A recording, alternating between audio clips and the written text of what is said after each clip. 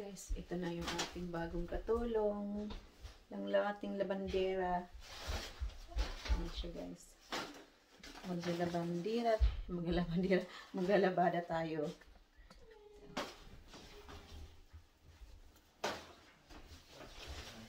Ating bagong labandera. Madami kaming labahan dito. Kasi lima kami. Yung mga bata, bihis ng bihis. Araw-araw.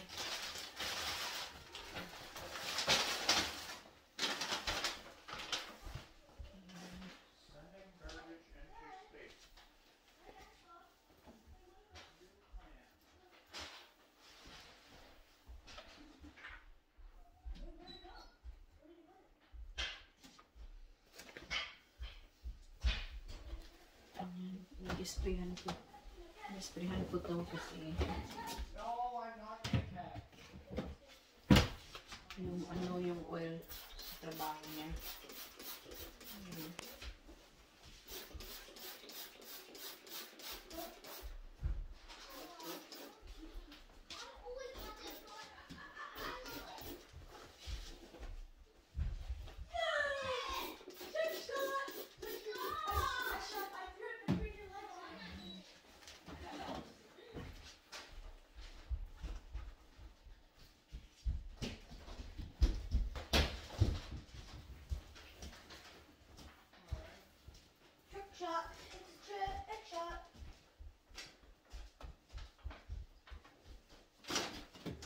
Daniel's laundry is not here yet.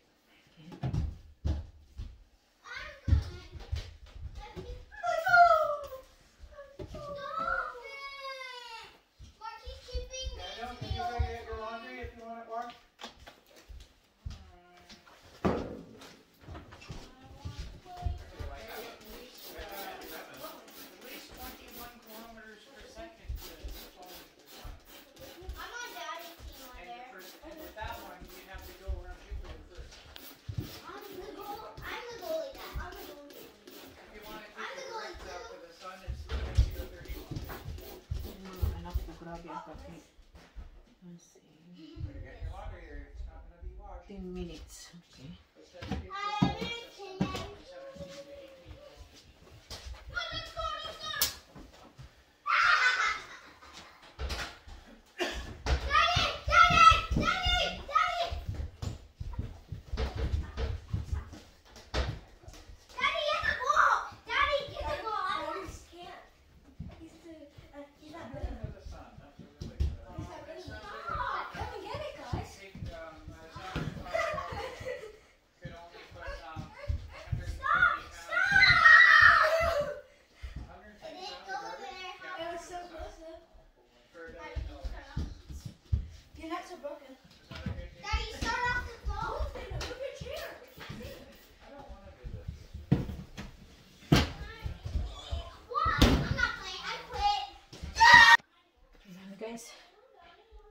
Yung ano. Yung washer. Ito yung detergent.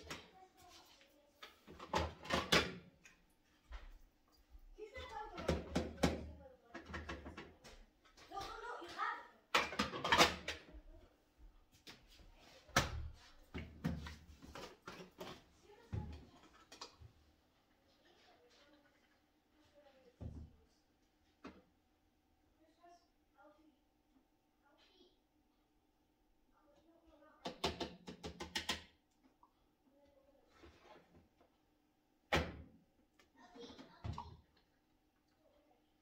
Ayan guys, dahil hindi yan kakasya yung detergent. Ano yan, nilalagay ko na lang dito. Kasi kailangan talaga madaming detergent ang gagamitin. Dahil ano to, kumbaga, ah, full load, maximum load. Yung ating ano, laundry. Pag hindi ko nilagyan ng enough laundry detergent, hindi malinis yung ano,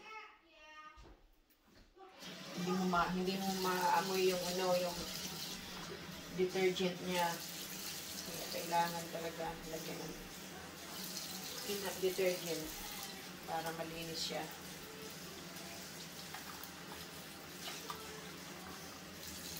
Guys, i-close na natin. Ito natin yung uh, power niya. Tapos, ilagay natin sa normal. Normal. Ito guys. Ayan. Normal. Tapos, yung temperature, ilagay natin sa cold. Tapos, yung spin, ilagay natin sa medium. Tapos, normal siya. Ayan. Tapos, start.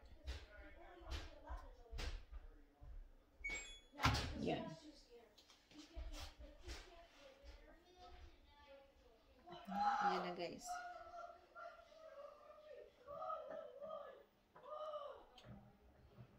Makik nakikita siya sa loob. I-spin muna yan siya.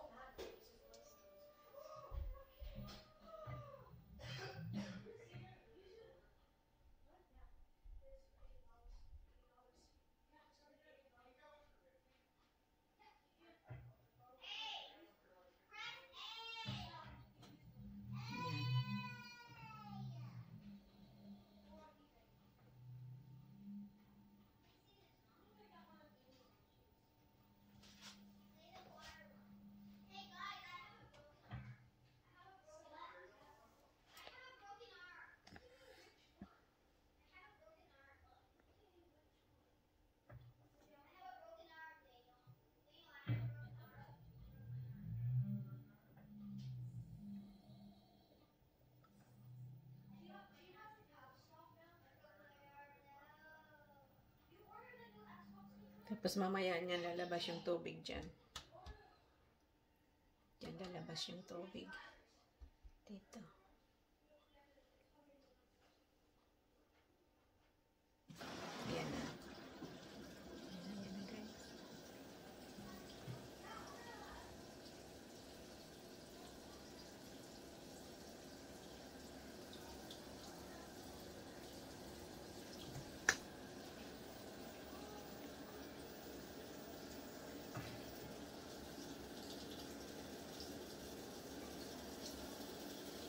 Guys, dito na lang yung ating video. At mabibisi na ako sa mga bata. At paglilinis ng bahay. See you again later. Hello everyone, welcome back to my channel. Samahan niyo pa akong muli at magluto po tayo ng sinigang na hipon. Guys, ang ginagawa ko, pinapakuluan ko muna itong ano, yung hipon bago, bago ko ilagay sa ating sinigang na ang ating pinapakulong tubig. Papakuluin ko muna ito para mawala yung langsa.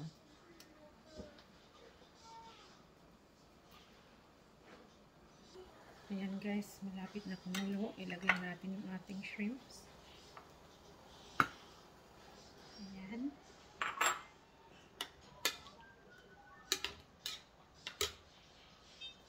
Ito reduce the heat.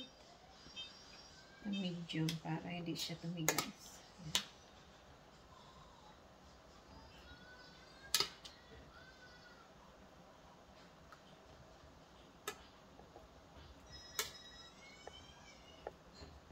Yan, antayin natin hanggang sa magpula na siya.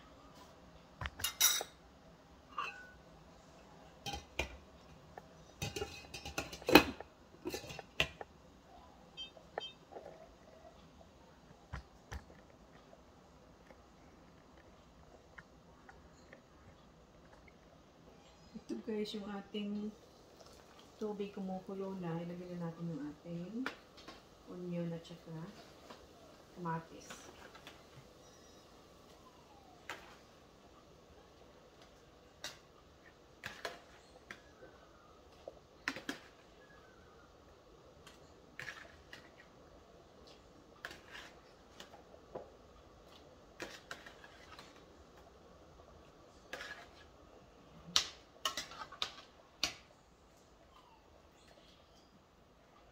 simmer natin ng 100 minutes.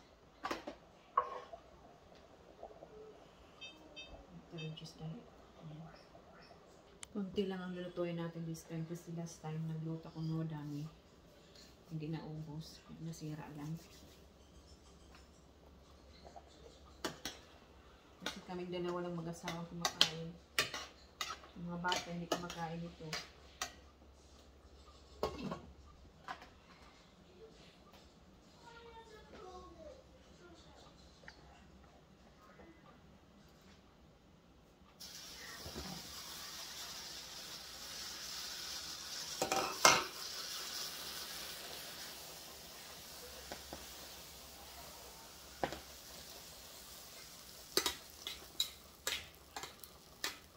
Nag-overflow yung ano, yung tubig. Okay. Tsaka yan, kumukulo na siya. Sinagyan natin yung ating okra. Kaya na natin ilagay yung hipon pag luto na yan dyan. Para pag ilagay natin dito, yung hipon luto na siya.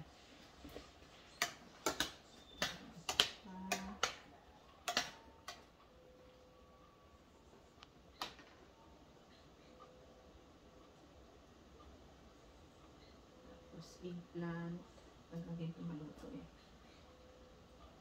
Ayan.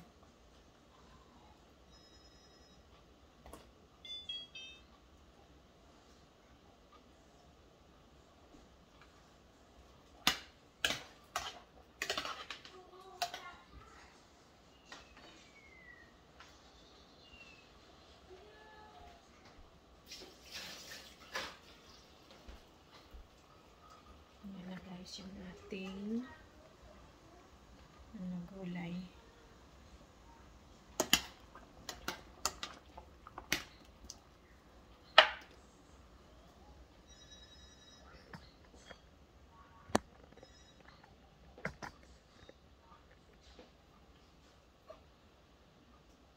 Ito ating ano, luto na siya.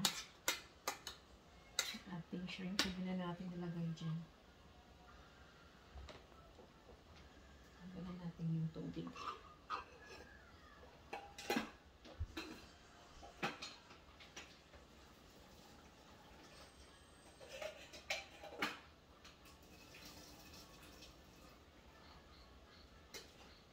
Ayan. Pwede na siya. Lagyan natin dito.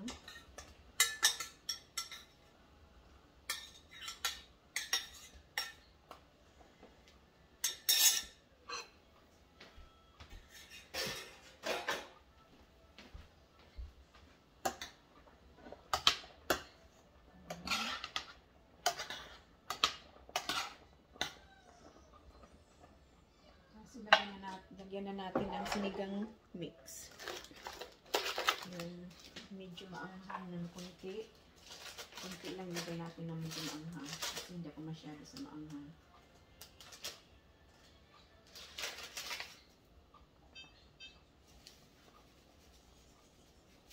Ayan, kunti lang yan. Paramihan natin dito.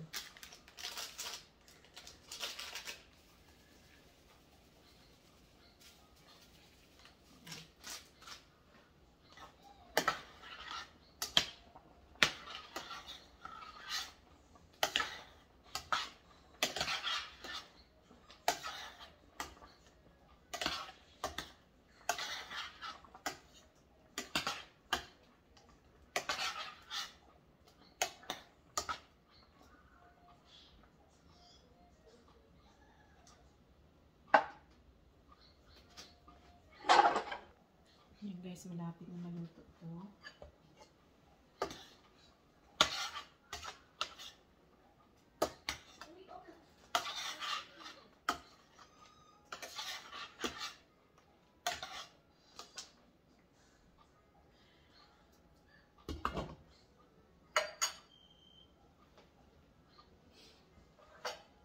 Ating spinach pala ito.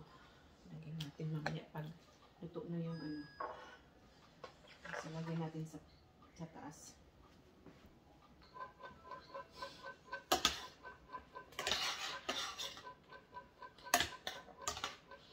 Ayan. Try natin yung sabaw. Okay na siya.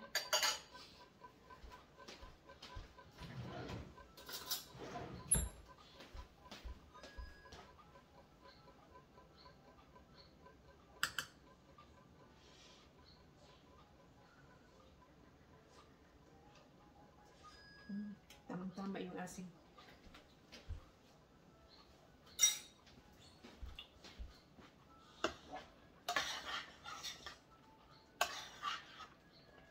Yan, pwede na siya.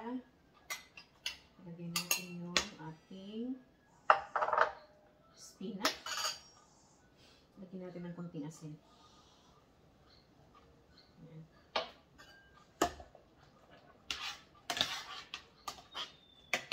Yan. Okay na. Lagyan na natin yung ating spinach. Kasi luto na siya.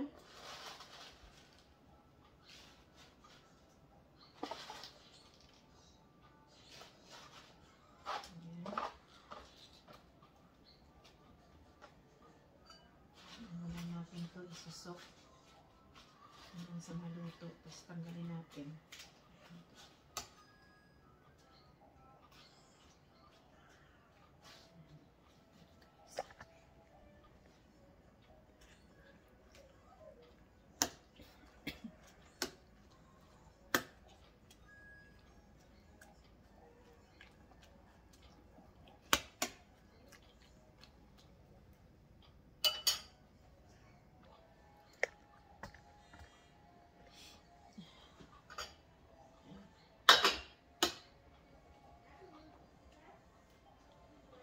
Guys, luto na.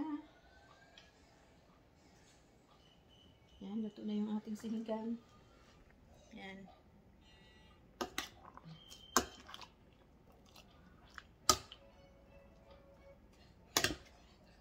Ang. Ang okra, yan. Yan, luto na siya. Tanggalin na natin. Tayin na natin yung ating stew.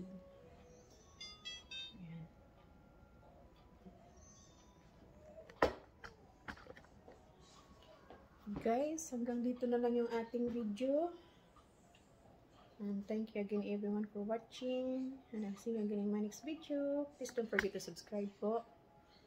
And don't forget to click the bell notification bell button para lagi nyo naabangan, naabangan yung mga bago kong video.